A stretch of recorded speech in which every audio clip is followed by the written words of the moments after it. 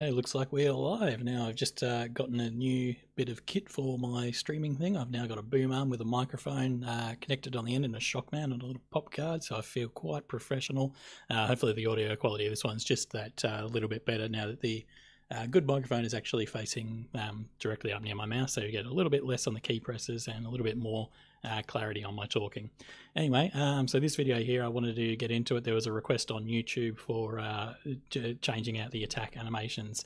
Um, it's a fairly simple process, but there is actually one catch that people don't um, don't necessarily get, uh, and that's when you need to uh, allocate the timing for the attack. Um, uh, for the hitbox to actually appear. So let's get started in this. So if you have a look, I've just got the uh, regular um, Invector Shooter, I've got the latest one. It is 1.3.2, and I'm running it on 2019.3 uh, alpha. You see we can go through, we can attack, and I think what uh, the goal for today is, is that we want to um, get a new attack animation for a weapon, um, and that's a melee weapon. So we're just going to stop that. We're going to go to the asset store, and we're going to get ourselves a uh, an attack animation that we can replace it with. I don't have any outside of the box. I could do it with uh, one of the other animations that comes with the pack and just switch them around, but I'll do it with a new one just so we can see um, how that works. So I'm just going to go attack animation. I'm just going to find a free one that we can get. There's a motion library. I don't really want uh, that. Can I sort by mm, price, low to high? Um, oh, here we go. We've got the fighter pack. Uh, maybe we want to do it with one that's got a sword. Let's have a look at this one. Does this one here have a nice sword? Doesn't really matter. Um, as I said, the attack uh, the attack stuff's not actually really going to matter too much. It just needs to. Um, oh, so we'll bring all that in uh, now. Don't want any of the code. I really just want the animations. All right, that'll do. We'll bring them all in anyway, and we'll just see what we have here. Hopefully, we won't get any errors from bringing in some random pack on 2019. Oh, we had all sorts of warnings, but I think we'll be fine. Uh, so let's come back to the scene now. You see we've got our little character here. And you can see he's got the uh, graph here. So let's have a look. So it comes through, we can open up uh, here on the, basically when you first open it up, it should come to this, you'll have attacks, big reaction, whatnot. This is just um, if we click on right arm, you see where we go. But if we go back to base layer, uh, no, upper body was it? No, full body. There we go, full body. So we want to be on the full body um, level here of the layer um, because this is all kitted out to um, uh, break up the way the bones and that work in the body um, so that you can do layered effects. And so I'm just going to go to attacks. We're just going to double click on that and open it up. See, we've got strong attacks, weak attacks, uh, we'll just go with the weak attacks. Now you can see we've got a few here. Now, there's two ways you can do this. You can duplicate one of these um, and then add it as a different attack style. Um, what I'm going to do is I'm actually just going to replace the sword attack. And we're going to come in here. You can see that we've got now, um, these are already pre-filled out with these uh, different states here. But let's just say we wanted to uh, delete that one. Oh, actually, no, we're not going to want to do that because we do have these exit conditions, don't we? All right, maybe we'll leave that. All right, well, we're just going to change the uh, the first attack that we've got here. So let's have a look at uh, where we've brought in our new options. Uh, we've got the hammer, so let's bring that in. Uh, let's go, we've got our animations folder, we've got attack one. Let's just see what that looks like. So that's more of a two-handed weapon attack, but um, that'll be fine. We'll just go with that for now because it doesn't really matter.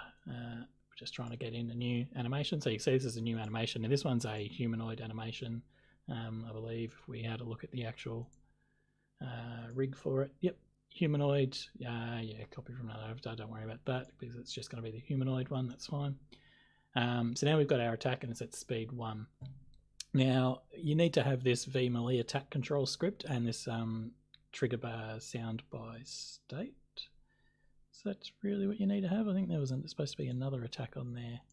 Let's try unarmed and have a look. Oh, trigger sound by state. All right, well, we'll just leave it as that for now. That should work fine anyway.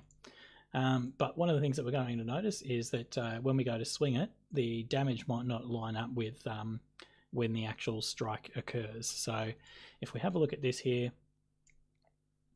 what we want to do is, oh, if I could bring that out, no, there we go. Now we've got it. Now you can see down the bottom here, we got a little uh, timestamp and a percentage and then frames. What we need to look at is the percentage. So if I start dragging this along here, you can see we're bringing it back. We're now at about 25, so about 30% of the animation is already played before we're actually in a swinging motion. So what we want to do is we want to actually trigger it so that the attack doesn't start doing damage until we're in a position where we're actually really hitting something. So if we're over here, um, if there's something over here that we're striking and we had the hitbox open now, it would be doing damage to it there. We don't really want that because that doesn't really match up the way the attack works. So we need to look for a point when the the weapon would be actually striking something. So we'll be looking about here. Um, of course, it's not really going to work because the sword's going to be placed here um, and it will be pointing up that way, so it's not really going to be hitting anything in front of it, but we'll give it a go anyway. So we're really looking at about 35%, uh, probably even a little bit less, maybe 34. So let's go with uh, 34. So what that translates to is that we now need to go back to our animation. We need to find the vmelee uh, attack control uh, script. And in this start damage, we need to um, translate that percentage into uh, a uh, a number, a numerical value. Um, what that is is it actually goes from zero to one. So your zero is zero percent and your one is one hundred percent. So obviously we can just change that quite easily by just going 0.34 because that is now thirty four percent of one. Uh, and then we've done that part. That's cool. But now we need to go back to our attack. We need to look at it and we need to find where we need to turn off the damage. So you can see it's usually on the backswing. So we've come down, We've gotten to 34 and we've turned on our damage. We're striking, we're following through with a strike. And as it comes down to here, we want it to stop doing damage at about 37. But you can see it does a little bit of uh, movement there. So let's say 40%. So it's actually only a very quick section there. So let's just change that to 0.4 because that would be 40%. So now that we've done that, um, that should translate. It's already set up for the melee weapon. So it's actually going to figure out what weapon is on the right lower arm there um, and then use that. And we can change the damage type. We can set it um, this here to say fire, all that sort of thing. But that is basically how you change the attacks uh, in this system. So you can just drop um, drop new animations in there, and all you got to do is just match up the start and the end damage because uh, the hitbox is already placed on the weapon itself. Um, if you are doing it unarmed and you do have a your own sort of generic style character, you may need to play around with some of the settings in it. Um, you'll obviously set that to unarmed. Um, but yeah, all you need to do, main focus here is to just focus on getting that uh, start and end point damage correct. Um, so let's have a look at how that translates in the game now.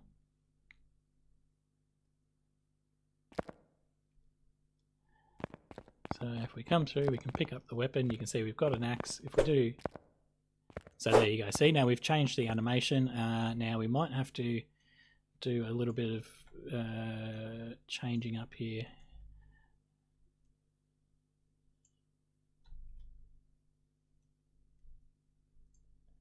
So what we need to do, I just want to showcase so you can see how the hitbox works. If we swing, now you can see that for just a quite a, a bit of an instant there, I'll try and make it so it's a little bit closer. Uh, now when I attack, no, you can't see because I've just moved away from the camera. Keep a close eye on the axe itself, and you'll see as it comes through, there's that little yellow box that forms, and that is the hitbox that's popping out. So we've set it to actually appear at that time. Um, so if we go now I've lost where I am. So we're going to run up now and we're actually going to see whether to make sure that it actually passes the damage through. So there you go. So you can see it is still passing the damage, but it's not doing it when it's behind us. It's only doing it when it's in front. So you see that when I stand here, the one behind me is not getting hit. But the one in front is as soon as I come down on that downward strike because I've set it to trigger off then. You can see that there's a little bit of a hit spill there because of basically where the hitboxes ended up. And so you can see, yeah, it's a bit sort of strange because the, the axe just sort of sits over the top of the shield. Kind of a cool effect, but um, not exactly what we're after. And it doesn't really match up with the other three. So yeah, so that's the basic way of uh, of editing uh, that uh, attack. It's easy just to drop it. You can even um, cut and copy the uh, if I go to the animator here, you can go back up, you can copy one of these attacks here, see the sword attack, and when you have a look, uh, it's just bringing in the attack ID um, to change it to a different uh, ID. So we can actually, you know, let's go ahead and do that. What I like to do is I like to actually just duplicate the stuff that's already in there rather than um, try and make one from scratch because that way you get to copy over a bunch of the different things. So we're going to duplicate that. I'm going to press Control D. It's going to give me sword attack zero. Um, we're going to open this up and we're going to reset it back to uh, the previous one. So we go weak attack sword B. So we need to open that up. I'm going to type weak attack sword A. And then that should have changed it back. Yep, weak attack sword A. And now we're going to have sword attack zero. Now it's not linked to anything, so we need to come to our entry, need to make a transition to sword attack zero state, and we need to put it into uh, yeah, state machine A, I believe. Is that where it comes into? No, entry sword attack. All right, so we need to, let's do that again. Make transition and state machine sword attack zero, and then make transition from the exit to out. So it's going to exit and go out there. And in here, we need to bring in a condition. So I'm going to click the plus and I'm going to put that as attack ID. And it needs to equal, uh, say, five. I think what is our four, yeah, two, four. So I'm just going to leave that as five for now. And then we're going to obviously need a weapon that has five. So uh, in which case I'm going to open it up and we're only going to have one attack for this one because it is going to be a big swinging hammer. Uh, going to change that there. We're going to change this from attack one to uh, our. No, I'm not because that's what we want. Good. So that's the hammer attack. Um, yep, speed one, and of course that's when we. It's already got the values because I already set them up before. It's a melee weapon, but what it's going to be looking for now is uh, the attack value of five. So that comes in when we're uh, editing our, our weapons themselves. So if we come to um, how do I want to do this? I would want to edit the, the weapon itself. So let's have a look at here. What prefabs do we have? We've only got the weapons are actually built in, so that's not really what we want to have. But let's do this the easy way without actually creating a new weapon. Let's go to our inventory. Um, item enums editor. No, sorry, we don't need that. Let's find our little guy. Let's have a look at his inventory. Item manager, there we go and we need to open up the item list and we got the short katana, we got short sword, uh, we need the great katana because that one will work because it's a two-handed weapon, so it actually works quite alright. So let's have a look here. Amount, low back, melee handler. Uh, yep, so this is the one we need. So we need to see the spawn object here, um, V katana long. That's the one that we need to open up. And we should have a look, and it's got here, yep, the melee weapon script. That's what we need to find. Um, attack settings, so here, attack ID is number 4. So we actually want to change that to 5 now. And that should automatically save it because that was a thing. Uh, attack 1 has no receiver. Are you missing a component? Yes, okay. So that's uh, that's another one um, that we need to look at doing because we will need to um, edit that to put in those motions. But let's just have a quick look now. If we hit play, we've changed that attack ID to attack 5 If we run up here, we should be able to get a large katana. We might just have to equip it. Yep, great katana. There we go. That's a great katana, isn't it? So there you go. Now you see that our attack has now worked on great katana. But let's have a look at whether it attacks properly. Let's move so you can see. There you go. So we're still playing the correct